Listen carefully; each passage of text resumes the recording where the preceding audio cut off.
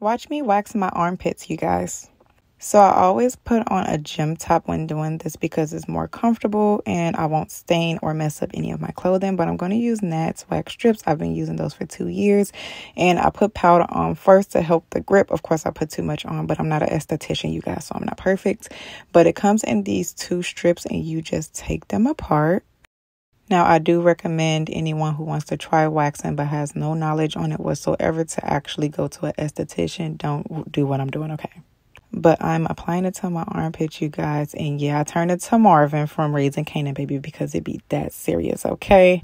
But yeah, and then I just ripped the strip off. I do recommend that you wax your armpits in like a cool room because you can sweat and heat and all of that just makes it difficult to rip off. But I go in with the post calm wipes to kind of calm the irritation. And that is it, you guys. Thank you guys for watching.